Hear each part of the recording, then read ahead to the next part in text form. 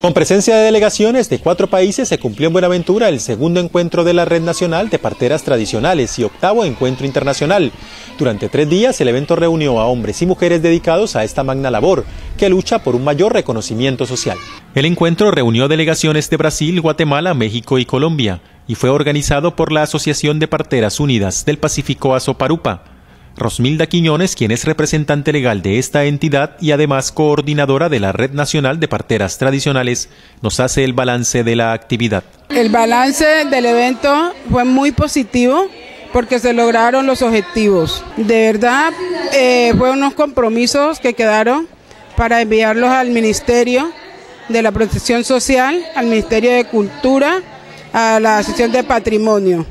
Entonces creemos que lo que aquí se habló, con estos compromisos que quedaron a nivel de la Red Nacional de Parteras Tradicionales en Colombia, apoyada con la Red Internacional, vamos a cumplir Dios mediante, independientemente de que estemos lejas, pero la idea es de que podamos organizarnos mucho más para eh, comunicarnos, estarnos informando de todos estos compromisos que quedaron aquí para poder cumplir y ver unos resultados a la final.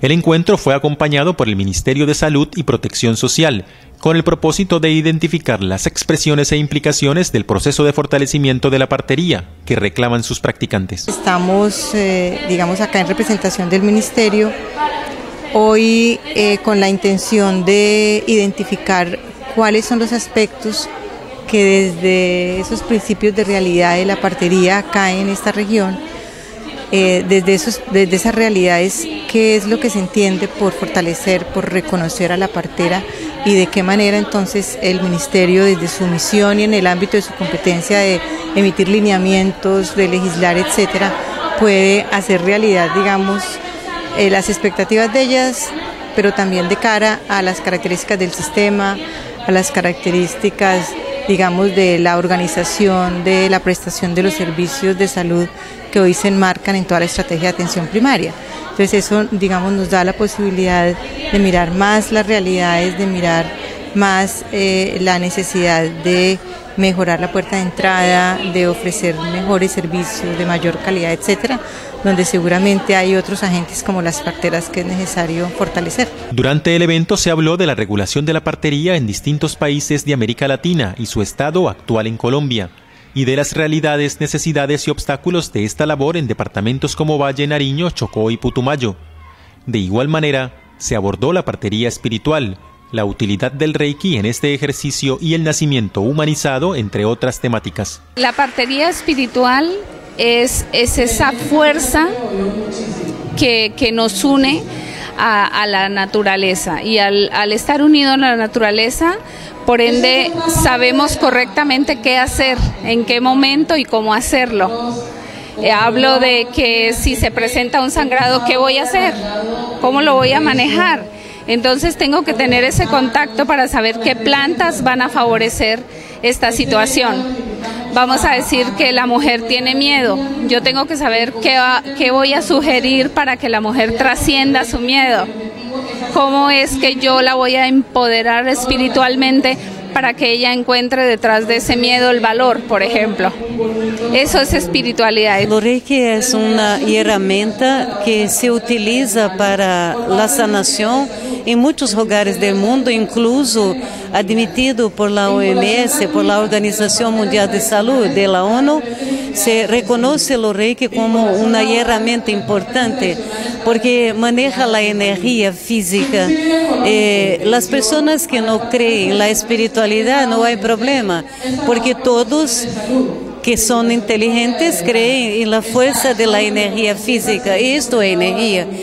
Eh, podemos eh, ofrecer isso para as parteiras como uma ferramenta para utilizar em momentos de necessidade, como eh, hemorragia, eh, desmaio, pânico e outras situações para sanar heridas, para cicatrizar huesos. Enfim. Foi sobre o parto humanizado, como nós allá em Guatemala eh, estamos con las pacientes, cuáles son las costumbres, las tradiciones que nosotros tenemos. Y sí, la verdad tenemos costumbres y tradiciones muy enriquecedoras que muchas veces las dejamos a un lado pero ahora nos damos cuenta que eso tenemos que rescatarlo. Igual acá en Colombia hay muchas cosas que se han ido perdiendo, pero es el momento de volver a lo nuestro, no perder.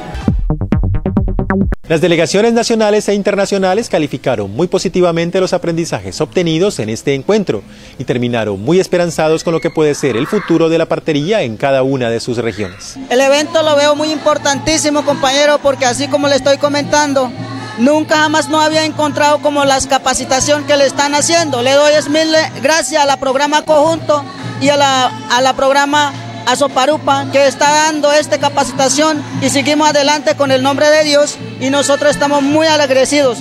Por ejemplo, nunca nos habíamos como conocido como práctica de las, nuestra cultura y compartiendo la idea que nosotros estamos haciendo y el otro compañero le da una idea, esto pasa así, así, nosotros también como comportamos así, estaríamos muy alegres. La verdad me ha gustado muchísimo la participación de las parteras de los diferentes, eh, no sé, municipios o departamentos que tiene Colombia, la participación muy activa, participativa que ellas tienen, la fuerza que se siente ahora en Colombia, eso nos hace... Eh, tener experiencias, llevar conocimientos de aquí para Guatemala. Igual eh, nosotros compartir con ellas las vivencias, las experiencias de allá para acá. O sea, es un intercambio que hemos tenido de saberes. Muy importante este congreso ya que se está retomando lo ancestral, algo que se había olvidado, que estaba muy, muy atrás, y, y vemos la importancia de, de retomar todas esas cosas olvidadas. ¿sí? En el Chocó contamos con diversas variedades de plantas medicinales y es importante de ahí que en las partes rurales, que son las más alejadas de la cabecera municipal, donde no se cuenta con médicos, son los curanderos, las parteras y los yerbateros los que nos proveen digamos así, como de la salud. Creo que eh, fue muy bueno. Esto, eh, esto no es lo primero que yo participo.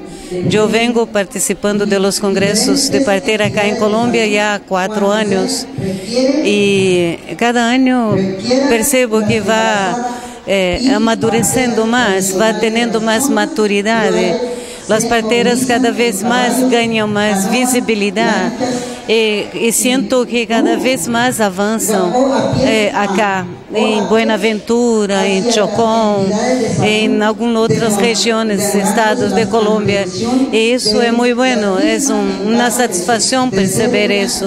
Me quedou muito porque me, nos, nos mostraram unos videos de, de partos en agua que para mí es algo nuevo, jamás lo había visto y me queda una gran enseñanza también los métodos que utilizan para eh, el parto, ¿sí?